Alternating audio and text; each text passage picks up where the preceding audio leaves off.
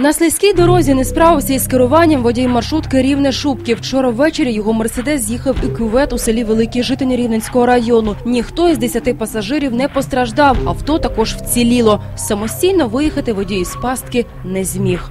Протягом минулої доби пожежно-рятувальним підрозділам області знову надавалася велика кількість допомоги громадянам та іншим службам внаслідок погіршення е, погоди і випаданням снігу.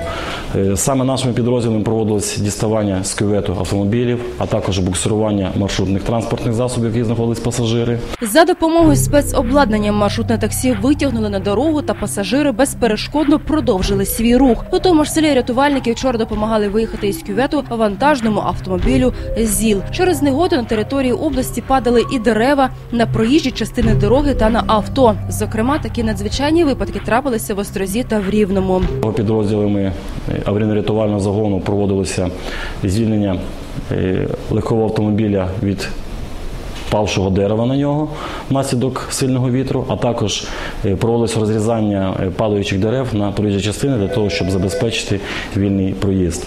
Державна служба України з надзвичайних ситуацій радить громадянам у період ускладнення погодних умов утриматись від поїздок власним автотранспортом та не планувати поїздок автобусним сполученням. Водіям слід мати в автомобілях снігову лопату, трос, термос із гарячим чаєм, заряджений мобільний телефон, теплі речі та достатній запас пального для можливості зігрітися у разі потрапляння у сніговий замет.